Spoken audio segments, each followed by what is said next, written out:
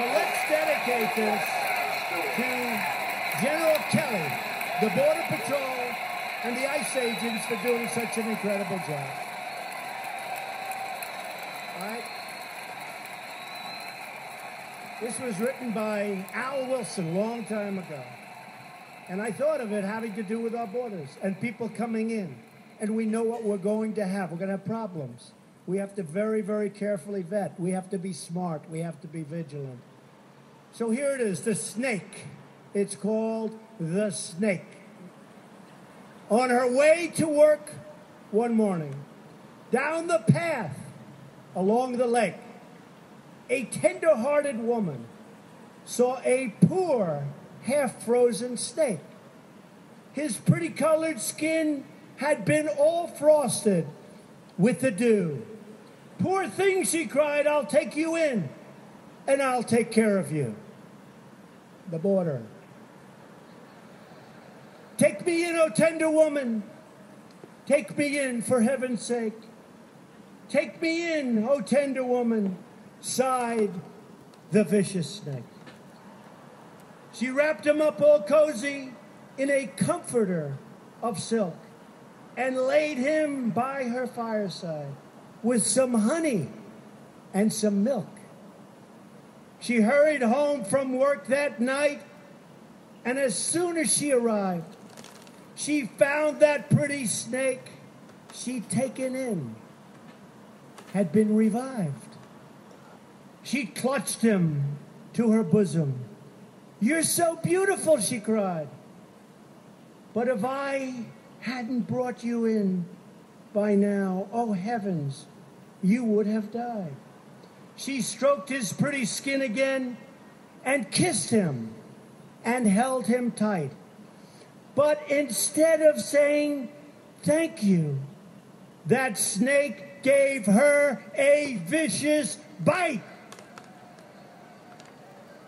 I have saved you, cried the woman.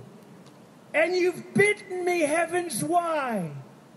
You know your bite is poisonous, and now I'm going to die. Oh, shut up, silly woman, said the reptile with a grin. You knew damn well I was a snake before you took me in.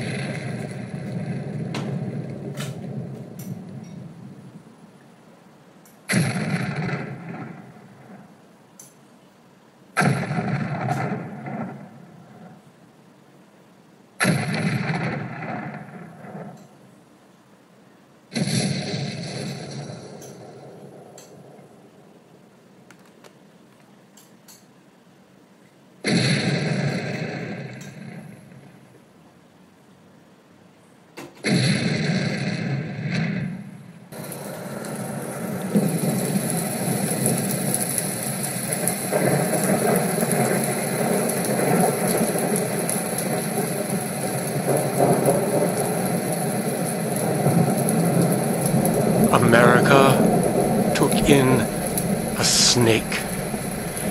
And he says the snakes are immigrants. I am in an oil barrel full of snakes. They all leave a trace. The virgin birth, immaculate conception, without consent, women irrelevant in the order of creation, wombs only required. Naked altar boys in holy robes await enlightenment. When did we decide that our human brand of sentience was superior to all other forms? We are animals, entrenched in denial believing in a male god. Religion leads billions of us astray and into the flames of climate change. Every single piece of progress we made is going to shit. In God's name. Stuck in the web of capitalism, we want fame for doing nothing. Freedom of speech, of faith, from want, from fear. We attempt to attain these through oppression of the earth, abuse of animals, sexism, racism, ableism, corporatism, and white supremacy. Big companies we trust poison us. Freedom is gone. Easy when you never knew what it was or that you even had it. Freedom, American style, has made us a nation of fat, shallow, lazy consumers, worried only for our own comfort and security. Take me in, O powerful Lord. Take me in and keep me safe. Grant me prosperity and health, O Lord. The American faithful pray. Comfort and security are not freedom. Freedom is a word of action. It allows action to happen. Comfort allows you to stop. We are in a dangerous time of comfort.